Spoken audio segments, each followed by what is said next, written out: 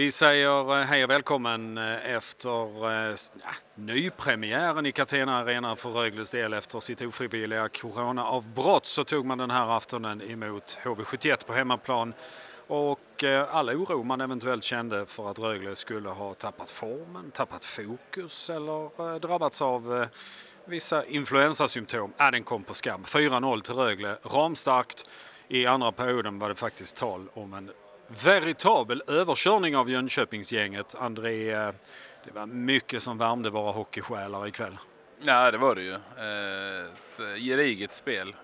Jag tyckte man gick och känna igen Rögle ganska snabbt. Det var ett lite knackigt första, vilket inte var helt oväntat. Men sen var det ju, som du nämnde, den andra perioden var ju fantastiskt bra. Och så stänger man igen i tredje på ett snyggt sätt. Så att, klockrent. Ett knackigt första säger du. Ja, fast det var aldrig någon fara på taket för HV. HV fick slita hårt för det lilla man skapade och även om inte Rögle, det var ingen sån här chanstät period men det kändes som Rögle hade kontroll på det från första början. Ja, nej, men det, ja, precis. Jag håller med dig där. Det var, det var inte så knackigt på det sättet kanske, men det var lite så här, man kom inte riktigt helt in rätt i situationerna, lite slarviga passningar. Eh, man, man liksom märkte att det var ett tag som man hade lirat. Eh, men man, ändå som du säger, man höll ju dem på rätt sida och det var inte någon fara på det viset. Men eh, man visste att det fanns mer att hämta, det såg vi sen i andra också. Eh, vi vänder oss till, eh, det var expertisen, här kommer sakkunskapen, så definierar jag det. Varmt välkommen till Rögle Lives eftersnack, Magnus Svenström. Tack så mycket. Och grattis till segern i det som vi väl ändå får säga är någon form av omstart. Ja, så kändes det lite grann. Jag har inte spelat på länge så att det var eh, en liten omstart och oerhört skönt att få komma igång igen. Jag anar ändå att ni i tränartrojkan hade en del frågetecken inför hur det skulle bli. Eh, ni jobbar ju väldigt nära men man, man kan ju aldrig vara riktigt säker. Ehm, vad fick du för svar ikväll efter 4-0 mot HV, tycker du? Nej, men det var lite grann som jag sa innan, det, eh, känslan var ju att vi var oerhört spelsugna eh, och det tycker jag vi visar upp eh, när man ser, eh, ser till hela matchen. Sen så någonstans kanske första perioden är det studsar lite grann eh, och vi tappar lite puckar på offensiva blå och sådär som vi inte vill göra. Men eh, ändå en gedigen eh, första period och sen så tycker jag andra perioden är, är jätte, jättefin. Kändes som ni tog första perioden att hitta grunderna att ni hittade lite er själva och fick ett kvitto på att jo, men vi, vi kan ju det här fortfarande. För det ni sen uppvisar i andra perioden eh, eh, jag vill inte frånta er prestation, HV, men HV gör ju en, en eh, blek figur. Eller så gör ni dem till en blek figur. Vad säger du? Det är säkerligen en kombination. Jag tror de är säkert inte nöjda med sin insats, men samtidigt så tycker vi gör det väldigt, väldigt bra. Vi, eh, vi gör det svårt för dem i mittzon. De får inte komma med fart igenom, eh, genom mittzon in i anfallszon på oss. Det, Eh, men det, nej, jag tycker vi, vi gör en, en jättefin andra period och får utdelning på de chanserna vi skapar också. Så att, eh, sen har vi en, tycker efter de har sitt friläge i vårt powerplay och, och där JJ räddar och sen så gör vi 2-0 ganska omgående efter det. Och då, Avgörande moment i matchen. ja, det är det ju. Jag mm. tycker mm. de eh, går väl ner sig lite grann efter det och vi eh, spinner vidare på den eh, eh positiva känslan vi får där igenom. Så att, eh, nej, det, Ehm, en avgörande del i, i matchen definitivt. Och ett PP-mål efter fyra sekunder som leder fram till 3-0 där och där någonstans känns det som eh, där gick matchen för HVs del. Och sen gör ni det väldigt bra i, fjär, i tredje när ni bara spelar av. Eh, också en styrka och också ett bevis på att ni är ett väldigt bra SHL-lag. Ja, och det är och precis som du säger, det, det väldigt, väldigt kul att se killarna för det känns inte som det är någon som liksom jagar egna poäng eller egna mål på något sätt i sista perioden utan det är, eh, vi är nöjda med att spela sur zon om mm. vi har strul och har vi lägen och, och eh, passa pucken till en medspelare så gör vi det så att vi sätter oss aldrig riktigt i, i svåra situationer och ger eh, HV någon, eh, någon luft att komma tillbaka utan det eh, det tycker jag är jättestarkt av killarna att liksom ha det fokuset och, och kunna spela av match på ett eh, så pass bra sätt. Och måste ju ändå vara en drömstart för er att få det här kvittot efter den här, det här ofrivilliga coronauppehållet Magnus och veta att ni går in i en extremt spelintensiv december. Men göra det här avstampet måste betyda mycket. Ja, det är klart det gör. Både för oss som tränare och sen så för, för gruppen i sig att det är superviktigt att vi känner att ja, vi studsar tillbaks direkt och eh, kan spela så pass bra hockey trots att vi har varit borta under en ganska lång tid. Och, eh, en annan styrka tycker jag det känns att vi, liksom, vi har fyra, fyra femmor vi rullar på med över hela matchen och det tror jag kommer vara jätteviktigt för oss eh, när vi spelar så tätt som vi gör just nu. Så att, eh, eh, alla bidrar. Eh, Eh, sprider ut speltiden på, på alla spelarna så att eh, eh, nej, mycket positivt ifrån, ifrån matchen. Var det roligt? Skitkul. ja, bra. Ja, bra. Ja, det är fantastiskt kul att vara tillbaka. Ja, men det är härligt. Härligt att se dig Wolle. Du skiner hela du tillsammans i kapp med resten av Rögle. Det har ni gjort det förtjänt av. Tusen tack för att du tittade in här i eftersnacket och lycka till framöver. och vi syns här i Catena Arena redan på söndag. Trevligt. När Växjö kommer hit. De eh, tog en triumf som hette duga mot Frölunda ikväll så de kommer att komma med rätt höga tuppkammare då. Det kan vara något eh, att bita i. Mm, ska vi vara redo. Bra! Mm. Tack så länge Wåhle! Tack så mycket! Eh, André, dina tankar om eh, en andra period där eh, vi satt här och vi får tillåta oss att erkänna det André. Vi satt lite och raljerade uppe på pressläktaren att så här har det inte sett ut på isen sedan Skellefteå var här typ 2012 mm. och det stod 5-0 till Skellefteå efter 9.30.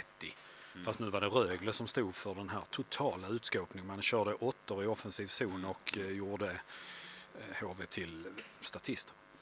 Nej, men jag, eh, jag instämmer. Det, det var länge sedan man, man såg en sån period här. Den du nämnde där, det, då var jag med på den tiden. Mm. Så det är inga... Och du kommer ihåg det? Det glömmer man ju aldrig Nej. sånt Roger. Eh, men, eh, men, det var inte meningen att vara taskig André. Nej, men det här var ju något liknande. Jag tyckte det var ju en eh, otrolig överkörning i andra perioden. HV de blir stillastående på automatik. Rögle gör de faktiskt stillastående med fruktansvärt bra rörelsemönster. Liksom det, nej, det måste vara svårt att försvara sig mot, mot den rörligheten. Vi ska höra en av dem som stod för rörligheten. Välkommen in till mikrofonen eh, Niklas Hansson. Eh, först och tack. främst eh, grattis till att vara tillbaka i, på jobbet. Ja, tack så mycket. Kul att vara tillbaka. Hur, hur var det att kliva in efter det här ofrivilliga avbrottet Niklas? Var det någon osäkerhet lite var, var ni stod? Ni tog, fick ta det i efterhand eller var ni fullt confident eller ge oss? Eh, både ja och nej. Eh, vi snackar väl eh, mycket inom att inte ha det som en ursäkt att bara för att vi har varit borta så kan vi hitta massa ursäkter och inte spela som vi ska göra där ute. Vi snackar om att hålla det enkelt, korta byten och rulla på mycket folk och det kändes som vi fick effekt av det idag för vi mm. kunde ja, men rulla på hela matcherna och känna oss fräscha när vi väl är ute. Mm. Och ni fick ett tidigt kvitto på att jo då, grunderna sitter, ni vet, ni kan spelet, ni vill spela och det är bättre än de flesta andra i det här i den här serien? Jo, eh, men det är ju något som ska sitta i ryggmärgen så här nu. Eh, så även om man är borta en stund så ska det sitta där bak i, i, i huvudet att man gör rätt saker för sig. Och, eh, men när fyra, fyra fulla femmor gör som man ska, då är det ganska lätt att veta som medspelare var pucken kommer hamna. Och, eh, då får vi också eh, effekt och kan rulla på fyra eh, linor och många som presterar där ute och då, då är det enkelt att spela. Sen gjorde ni en makalös andra period eh, där ni långa, långa stunder naglar fast HV i princip inne i sin egen målbur. Eh, otrolig rörelse. Det såg ut som ni hade hur kul som helst. Jo, det, det håller jag med Och jag menar, vi, eh, vi är starka på pucken, våra forwards. De är, de är jobbiga att möta, det vet man själv på träning när man möter dem. De är tunga, de är starka och eh, vill in på kassen och det, det är bra rörelsemönster. Och det, eh, det är tufft att spela mot eh, sådana forwards, mm. vet man ju som själv som back. Och det är, men det är också stor nytta för laget. Mm. 1-0 ehm, gjorde Brady Fergusons, hans första den här säsongen. Jag gissar att han har gått och längtat efter det. Passningen du la till honom Niklas, mm. Eh, berätta om den. För den, den är ju värd eh, entrépengar bara den. ja, men vilken ja, passning, den skär ja, över. Nej, jag kommer från, direkt från bytet och äh, slå en kik innan jag får den var, var jag har spelarna jag ser att Brady kommer i hög fart. Och, på offensiv blå? Precis, jag ser att han kommer skära in som, som center i mitten och han kommer högt. Och, eh, försöker bara trycka den hårt på bladet och skönt att se den gå hem. Ja, och hans avslut sen också som eh, ja, klass. Eh, förvaltade din passning. Eh, snyggt gjort, vi lyfter på kepsen härifrån. Vi satt och applåderade spontant. Du, eh, ni går in i en spelintensiv period nu Niklas efter det här ofrivilliga avbrottet. Att, att få med sig den här starten inför en period som vi vet, eh, vad är det ni ska spela? Ni ska spela typ 17 matcher på en månad eller något sånt. Det är helt galet. Nej, 12 är det väl, men eh, många är det. Ehm, att få det här kvittot i start, hur viktigt var det? Jo, klart är det viktigt. Eh, sen så vet vi att det kommer kanske vara trötta koppar imorgon och ikväll och så här nu. Och då sa vi det direkt efter matchen att nu är det verkligen fokus på ta hand om kroppen extra mycket. för har man varit borta så vet man att visst man kan spela en match ja. och sen så kan man få ett bakslag och då sa vi att nu är det ta hand om kroppen dricka lite extra, äta lite extra, kanske sova lite extra vad man brukar göra och verkligen eh, ta hand om sig själv och känna efter vad, som, vad varje kropp behöver för mm. att kunna prestera på torsdag igen. Ja, för då är Linköping borta eh, och det är ju eh, en match där alla förutsätter att ni ska vinna och det är kanske de värsta matcherna att gå in till. Ja, ja det är ju det... mitt påstående. Jag ja, säger jo, inte att du ja, påstår ja, det. Men... men jag ser inte, eller personligen så ser jag inte något eh, lag på ett annat sätt än något annat utan det är, eh, eh, vi går alltid för tre poäng. sen som vi är favoriter eller inte favoriter det, det har jag inte en aning om egentligen utan jag vet bara vilka, vilka jag ska möta och det är de jag, jag vill vinna mot. Mm. Förstående ord Niklas på mina lätt ledande mm. frågor. Du till sist, hur är det ändå att, att att vara professionell idrottsman under en, under en pandemisäsong när det blir så ryckigt och tabellen haltar och man vet inte två dagar innan om man verkligen ska spela matchen. Så hur är det? Försök beskriva Niklas. Det är, det är klart det är en speciell säsong liksom. Eh, jag menar, man vill ju åka ut inför en fullsatt Catena Arena och känna trycket liksom. Eh, man får lite gratis av det, det får man inte nu när man inte har publiken. Mm. Och Sen så är det speciellt som du säger nu när det händer, det är, det är mycket som händer i världen och det är eh, tuffa grejer liksom. Eh, men eh, vi försöker hantera det på bästa, bästa sätt liksom. Eh, vara försiktiga och så här. Eh, och ja, som dag för dag liksom. Ja, eh, helt rätt. Vad, vad, som händer, det, vi kan bara påverka det som vi själva kan göra. Sen så vad som händer runt om kan vi inte påverka så mycket. Eh, men det är klart det är speciellt och men eh, försöker vi inte lägga allt för mycket fokus på om vi ska spela eller inte spela utan vi är inställda på att spela fram till vi får höra någonting annat egentligen. Du säger det själv, eh, avsaknaden av publiken och den gratis skjuts man får av det, inte minst här hemma i Ängelholm och så vidare. Var, hur, är det kul ändå? Det är roligt ändå att jobba med hockey? Jo, så är det ju. Jag menar, man, man älskar ju sitt jobb men det är klart det är betydligt roligare när, när de är här eh, och det är fullt tryck och, och fest där inne. Det, det, kan man inte sticka under stolen med att det är roligare när det är så. Men eh, förutsättningarna är lika för alla och då ja, gilla läget och sen så försöka ta sitt ansvar för att eh, vi ska bli kvitt med denna pandemin och kanske kan fylla hallen snart. Jag kan trösta dig med Niklas, de sitter där hemma och tittar och de tittar på det här och mm de eh, älskar er mer än någonsin tror jag. Så, så, så känn värmen och eh, tusen tack för din tid och för att du tog dig hit upp till Rögle Live-studion. Vi syns framöver och lycka till. Ha det bra. Niklas Hansson så långt alltså. Ehm, då gör vi så här eh, för att lösa teknik och annat André. Ehm, vem vill du lyfta fram idag? Brady Ferguson gör sitt första mål. Mm. Eh, transatlant som han är så kommer alltid sådana med den där förväntan att oh, här kommer en ny poängmaskin. Mm. Nej, det är han ju inte, men han gör så mycket annat. Svara på det så går jag och hämtar den andra micken. Jag gör det. Eh, ja, men det tycker jag han gör. Eh, han eh, har ju alltid jobbat hårt, eh, Roger, och gjort ett gediget jobb. Men nu känns det som att han får betalt för det han sliter för också. Jag tycker han har anpassat sig efter den svenska hockeyn. Det tog lite tag för honom att liksom komma in i detta och komma från eh, den andra sidan liksom, med allt vad det innebär. Och han tar eh, sin roll? Det har han gjort hela tiden tycker jag. Mm. Nu börjar man däremot liksom se resultat av sin roll på ett annat vis. Och han får mer och mer självförtroende i det han gör och nu gör han mål i det också vilket också kommer påverka hans självförtroende. Men han gör bra grejer hela tiden. Jättejobbig möta för motståndarna. Han är jobbar extremt hårt eh, både defensivt och offensivt och är en riktig teamplayer. Jag tror att det var nog det man tog hit honom för egentligen. Sen att andra har tankar med att han har, kommer från USA eller Kanada var han nu är ifrån. Mm. Men eh, att han ska liksom in och producera. Det är inte riktigt den rollen han ska ha här. Så att, eh, han har köpt sin roll till 110% och nu ser man liksom att det blir lite, han får lite ut av det nu och det är roligt för han också givetvis. Så att, ja, jätte, jätteimponerad av honom den sista tiden.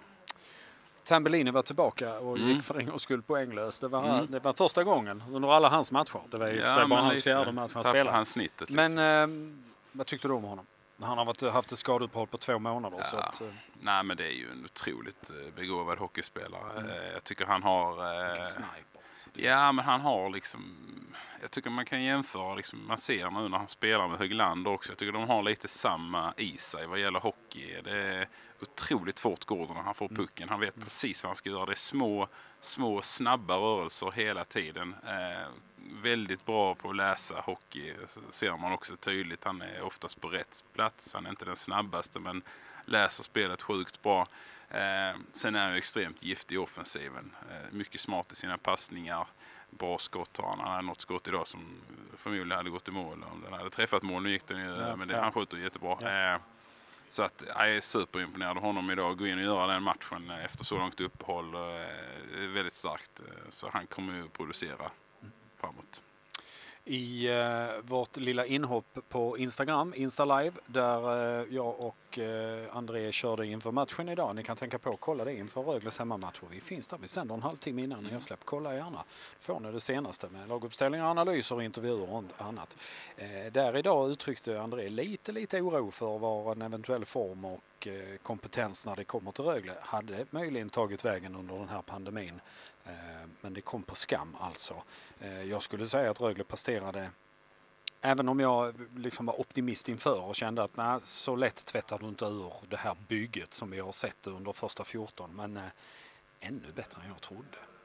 Ja, mycket bättre än vad jag trodde faktiskt. Jag var, som Du var jag lite- ja, jag var lite dina orolig. farhågor. Jag tyckte att liksom det, det är ändå eh, nästan två tredjedelar av laget har legat eh, nedbäddat med, med olika eh, Liksom, eh, vissa har varit mer sjuka än andra Ja. men det är ändå så att det drar ju ändå liksom, man- får ändå det med sig. Man, man ska liksom få ur det ur kroppen, du ska komma in i träning, du ska komma in i match, du ska liksom lära dig och Eh, Och så är det helt plötsligt eh, skarpt läge här nu och man har varit borta ett par veckor. Liksom. Jag tyckte det var många frågetecken som jag var lite orolig för inför matchen.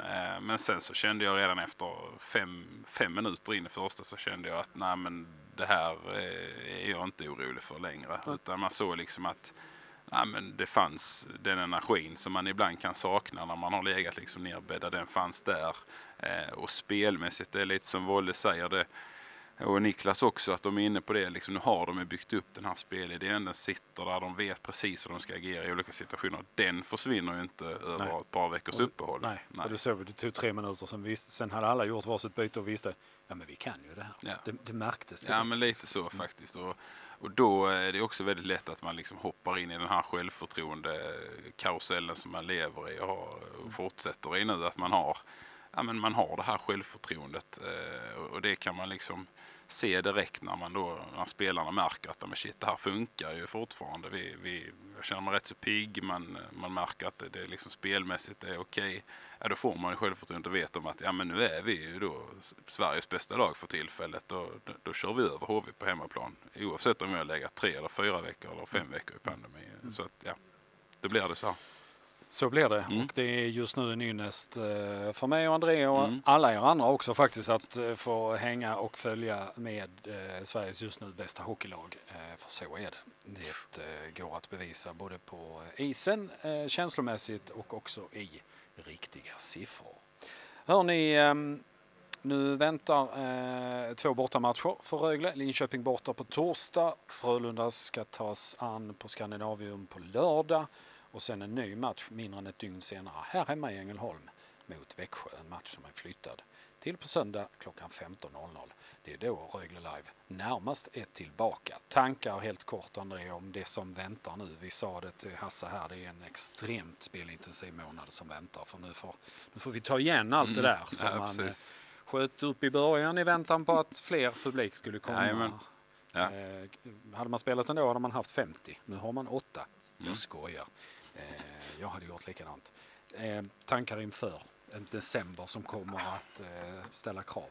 Ja, nej, men det, det, det kommer det att göra. Det är otroligt hårt matchande många veckor här nu. Och, eh, jag, jag, jag vet inte, det känns som att Rögle är väl kanske ett av de lagen som kan tackla det ganska bra. Eh, nu har man haft det i laget. Eh, de flesta har legat i det och eh, man har fyra bra femmor och fyra jämna femmor. Man matchar inte stenhårt på få antal spelare som Nej. ligger och pendlar på 25-26 minuter. Nej, och som får bära allt. Nej men precis, utan de har bredden, de kan liksom tugga runt och idag lyfter de ju sju backar också ganska mycket. Jag tycker liksom att förutsättningarna till att man ska reda av det finns ju där. Sen är det klart att man kommer vara trött ibland eh, och då får man väl eh, falla tillbaka på ett stabilt grundspel som man också har och kanske en målvakt som kan göra lite bra räddningar som Gustafsson gjorde idag eller Precis, kan göra framöver. Så att, Och Nej, det- med sin första nolla. Grattis till det. Verkligen. Eh, Stabilt. Också, ja, Nej, stabilt. men mycket bra match. Precis. Så att, nej, jag är inte orolig för, för matchandet. Och det är lite lika för alla. Alla har matcher att ta igen här. Det är oändligt med matcher att ta igen Mm, känns det mm. som. Så att, nej, men det, det, det, jag känner mig trygg i det. Det får bli avslutningsorden. Mm. Glöm inte att jag och André är tillbaka på söndag eftermiddag klockan 14.30. Börja följa Rögle på Instagram och så kommer vi att titta in där och ge er uppsnack och förutsättningar inför söndagsmatch den hemma mot Växjö. Och så hittar du naturligtvis Rögle Lives eftersnack på röglebk.se även efter den matchen. Tusen tack för att du har tittat. Tusen tack till André för hans klokskaper. Tack för det Tack för idag. Tack för idag. Eh, vi syns och eh, heja Rögle. Fan vad det går bra nu. Ha det bra. Hej då!